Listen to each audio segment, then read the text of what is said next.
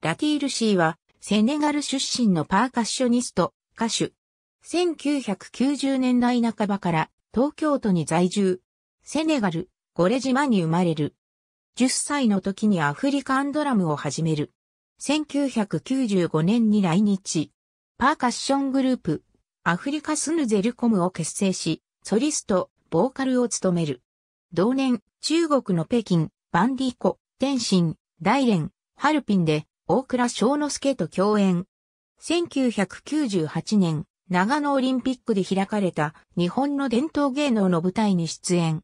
同年、キューバ日系移民100周年記念行事で講演。韓国で開催されたインターナショナルジャズフェスティバルで講演。2000年はフランス、ドイツ、エジプト、韓国などで講演。2002年、ワシントン DC のスミソニアン博物館で野村万之丞と共演した。2002年、久下めぐみ生、内田直之、ラティールの3人でグループフライングリズムスを結成。同年6月25日、ファーストアルバムフライングリズムスを発表。以降、計6枚のアルバムを制作した。2005年、愛知万博に参加。2006年、レヨナのシングル、レーニーブルーのレコーディングに参加。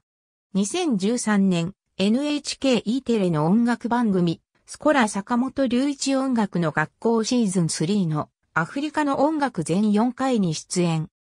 共演したミュージシャンは、坂本隆一、白井隆子、直人インティライミ、オリジナルラブ、熊谷和則、今和野清志郎、ママディケータ、大倉翔之介、千葉清彦、佐藤正彦、リコ・ロドリゲス、金大替前、関サネなどジャンル、国籍ともに多岐にわたる。その他、長野オリンピック、ラグビーワールドカップ2019、パリコレクション、2002フィファワールドカップなど、多数のイベントで演奏をしている一方で、テレビコマーシャルの音楽も多数制作している。トヨタ通商、ヤマハ、ナショナルジオグラフィックのテレビコマーシャルには、俳優として出演もしており、火花、パンク侍、切られて、こうの映画にも俳優として出演している。2020年12月中、広告代理店がラティールに翌年の東京オリンピックの開会式への出演を打診。広告代理店からは、セネガル人の弦楽器奏者と日本人のタップダンサーがメインで出演すると説明があり、ラティールは引き受ける。オンラインで打ち合わせを重ね、ラティールは歌唱と打楽器を担当することとなった。日誌をつけること、他の仕事を断ること、毎日の体温を記録することなどが細かく命じられ、4月22日には開会式出演の取り決めなどに同意する書類にサイン。送られてきた文書には、開会式のプランは極秘である旨の言葉が記載されていた。ところが、4月末に始まる予定だったリハーサルは延期になった。5月上旬、マネジメント会社に問い合わせると、出演がキャンセルになったと電話で告げられる。理由を尋ねると、会合の場が設けられた。現れたのは広告代理店の担当者だった。代理店の説明によれば、オリンピック組織委員会側が次のように言ったという。もしラティールが出演すれば、なぜアフリカ人がショーに出てるんだ？と観客はきっと疑問に思う。だから、ラティールに出てもらうことはできない、組織委員は、なぜここに、アフリカ人がとなれば、他の国籍も入れないといけないという話になるとも指摘し、ラティールとセネガル人の出演をキャンセルするよう代理店に求めた。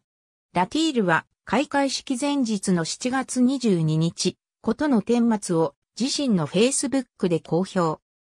開会式をめぐっては、作曲担当の小山田圭吾が90年代の雑誌インタビューの内容が問題視され7月19日に辞任。ショーディレクター担当の小林健太郎が、ラーメンズ時代のコント内容が問題視され7月22日に解任という異常な事態となっており、ラティールの投稿は読者らによって SNS で拡散された。